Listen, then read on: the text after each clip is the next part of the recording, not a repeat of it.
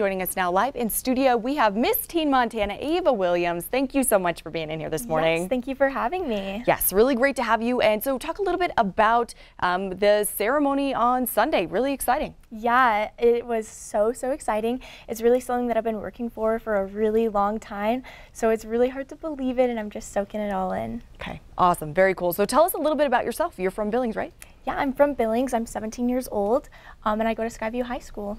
Okay, wonderful. And as part of this program, you were tasked with um, developing some kind of uh, advocacy work. Talk to us a little bit about your cause. Yes, my platform is Bags of Books. It's a nonprofit that I created back in 2020.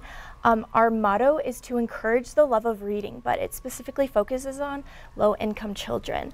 I really, really love to read. I am such an avid reader, and I attribute a lot of who I am today to the fact that I had exposure to reading as a child. And statistics show that 61% of all low income households in America don't have a single children's book in them. And that just really hurts my heart since I love to read so much, and it's so, so important. And so I donate reusable canvas bags filled with three or four books to preschools around the Yellowstone County area. And there's like stuffed animals and candy in there too, you know. And it's just so great. I love walking into these classrooms and giving the bags and the kids' faces just light up. So it's something I'm really passionate about. Okay, that is so cool. We really appreciate your work doing that. And also, you've got a big year ahead. I mean, there's lots of responsibilities that go along with this. So tell us um, kind of what are you looking forward to as you interact with communities around Montana? Yes, I'm really looking forward to getting into communities and connecting with Montanans, but specifically with children and middle schoolers.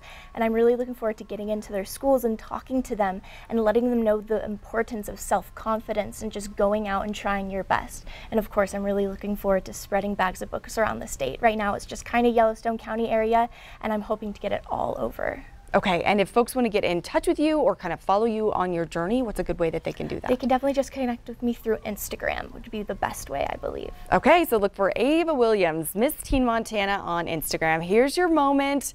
We have oh. that from Sunday. Oh, that's so good. Had you been in pageants before? Um, this was my third year your competing for this title, yes. And oh, I had wow. been in dance and stuff before, and a lot okay. of the skills in that translate over to pageantry. Okay. But that this was my third year, so really exciting and fun. Well, congratulations yes. and thank you for being here with thank us. Thank you so much for having me. Yes.